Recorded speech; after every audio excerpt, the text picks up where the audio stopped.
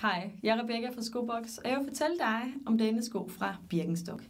Her har vi altså fat i hjemmeskoen fra Birkenstock. Og ja, de er begyndt at lave hjemmesko, og de er selvfølgelig lavet i 100% uld. Den er lige til at stikke i, lavet på den brede list og rummer altså rigtig godt. Kan justeres herover spændet over vristen. Sålerne er lavet på de samme såler, som de har på sandalerne, det vil sige, at den er formet efter foden med svangestøtte og fodseng og det hele, og rigtig skøn at gå i. Rusken indvendig, lavet på korksålen, så den er stødabsorberende, og så har den de her såler nedenunder, som også lige kan tillade sig at gå ud i den. Har du lyst til at vide mere om hjemmeskoen, så spørg mig eller kig forbi.